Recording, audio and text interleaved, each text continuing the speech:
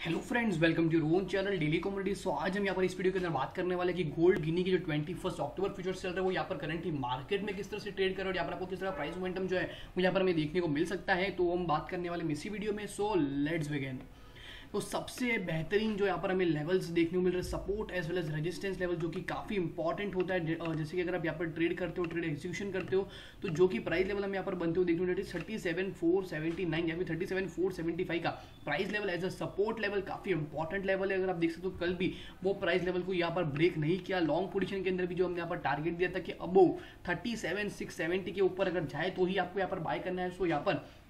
कल भी कोई सेगमेंटेशन यहाँ पर हमें देखने को नहीं मिला ऑल दो रेंज जो है काफ़ी small range is thirty seven six hundred and seventy या फिर अगर अपसाइड के अंदर बात करो तो थर्टी सेवन सिक्स सेवेंटी अगर यहाँ पर प्राइस लेवल तोड़ता है सस्टेन करता है तो लॉन्ग पोजिशन आप इसीलिए यहाँ पर बना सकते हो। और डाउन साइड के अंदर सपोर्ट लेवल है थर्टी सेवन फोर सेवेंटी का। अगर यहाँ पर प्राइस लेवल तोड़ता है डाउन साइड के अंदर तो यहाँ पर आप जो है इजिली शॉर्ट पोजिशन बना सकते हो। टारगेट आप फिफ्टी हंड्रेड पॉइंट्स के टारगेट्स है, वो आप मिनिमम यहाँ पर रख सकते हो। करंटली अगर मैं यहाँ पर आर एस आई की मोमेंटम की बात करूँ तो आर के अंदर मुझे थोड़ा बहुत रिकवरी यहाँ पर हमें ज़रूर देखने को मिल रही है दो कैंडल्स यहाँ पर बुलिश कैंडल्स बन चुकी है according to fifteen minute time candle और उसके साथ साथ में एमएसडी ने अभी तक हालाँकि कोई इंडिकेशन नहीं दिया है by that is long position के अंदर जाने के लिए बट फिर भी हम यहाँ पर वेट कर सकते हैं। कॉन्सोलिडेट अगर यहाँ पर होता है तो मेरे सबसे एक अच्छा सा मोमेंटम होगा। Just as of the way तीन बजे या चार बजे के आसपास एक अच्छा सा ब्रेकआउट या फिर ब्रेकडाउन